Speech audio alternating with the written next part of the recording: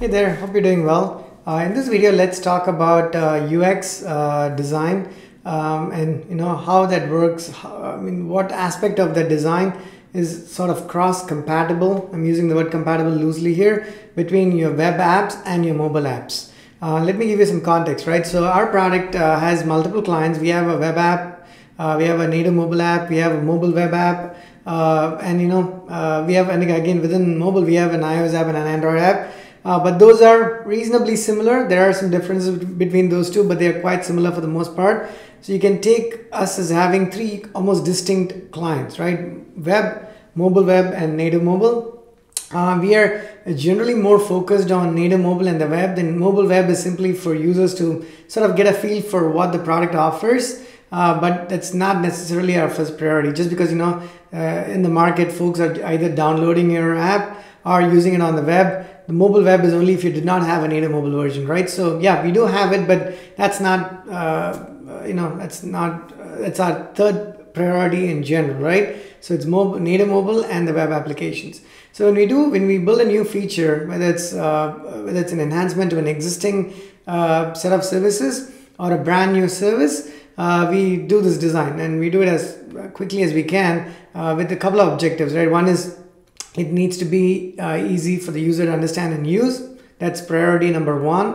Uh, and then it needs to be reasonably all right. Uh, I don't know if I can say easy, but quick enough for us to be able to implement it, right? So there's a balance, and we figure out when we spend more time on one versus the other, and so on and so forth.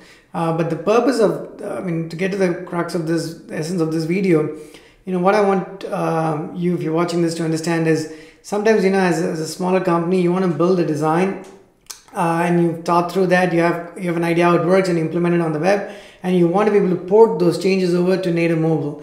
And now, what would be ideal, right? What would be ideal is you take the changes pretty much as they are, and then you just re-implement them on your native mobile.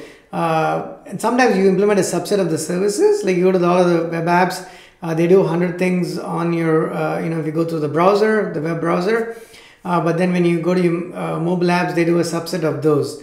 Um, and there are, there are others where they are mobile first. They probably uh, either do not just a subset but do things differently on mobile, or it could be a combination of these two things, much like us. But the point is, uh, it's almost impossible to take your web design and port it over to mobile. You can't just shrink it, make it responsive. You can do it to some extent for your mobile web HTML5 applications. Uh, even there, if you just took what you have on the web and you tried to sort of uh, fit it uh, into your mobile web client, it is not going to work very well. It just it, it, more often than not, it's going to not help the user experience. It might make your life as a developer or an architect a tiny bit a tad easier, uh, but that doesn't necessarily translate to user experience, right? Uh, but you can sort of make do with what you have and uh, retrofit, for lack of a better word, uh, into your mobile uh, web apps. But when you go to native mobile, native mobile, trust me, you you're going to have to redesign it.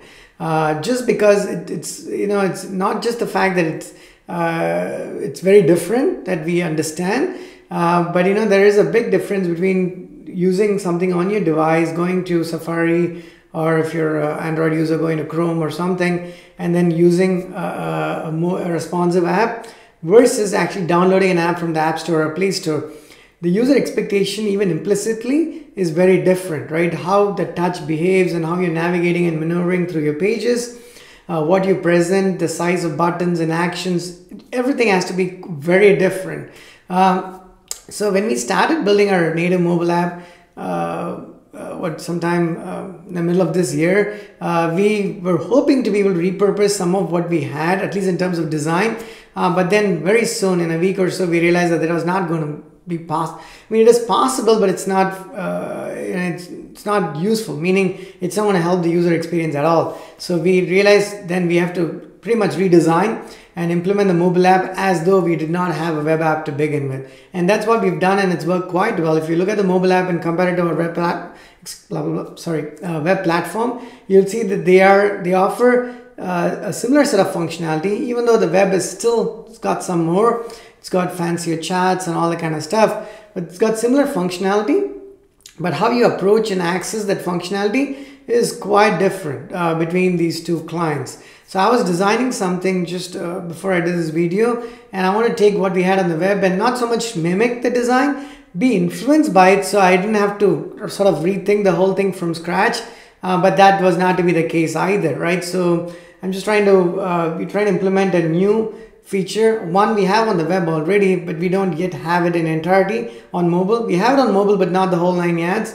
So I'm trying to add those, uh, you know, fill the gaps and add those features. Uh, and then I realized, realized one more time that the entire design is actually very different.